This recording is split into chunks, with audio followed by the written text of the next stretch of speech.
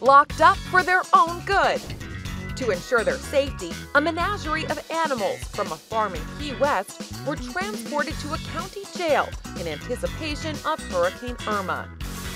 Many horses ate hay in a holding cell, while Mo the Sloth, one of Monroe County Sheriff's Office Animal Farm's more famous residents, enjoyed a piece of corn, all unaware of what was happening outside.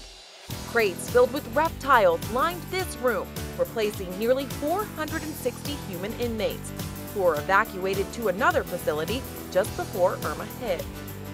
The sheriff's office is home to more than 100 animals, including llamas, now all safe and looking for the silver lining after the storm.